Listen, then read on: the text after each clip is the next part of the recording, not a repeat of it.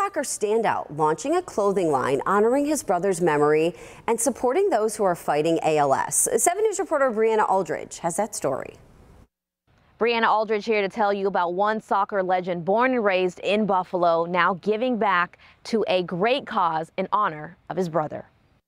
And that's me. I know it doesn't look like me. Rudy Pikuzinski grew up playing soccer with his three younger brothers, a hobby that turned into a way of life. Well, back in the day, you played sports, everything, you know, and that's what you did was what computers, one TV to a house, you know, you just played. Rudy excelled on the field, playing professionally in his hometown, and spent several years making a name for himself in the Canadian National Soccer League. He even went on to play alongside his youngest brother, Randy. We both went to Ohio, and uh, then Randy got traded to uh, Milwaukee when I was playing in Ohio.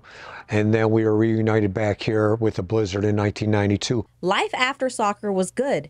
And then the Pikuzinski family received some devastating news about their second oldest brother, Richie. He said, wait a minute. He opened a door and he told us he was diagnosed with ALS. Rudy remembers the pain his brother Richie had to endure. The best definition I have is a more a piece of you gets paralyzed more and more every day. So when Rudy was inducted to the Buffalo Hall of Fame, he was inspired by a certain saying his brother lived by. In my speech, I said, I bleed Buffalo, it's in my veins. The perfect slogan to start up a campaign to give back and honor the memory of Richie. What I bleed Buffalo, I figure Richie always represented. He was a guidance counselor and a principal at Fox Schools.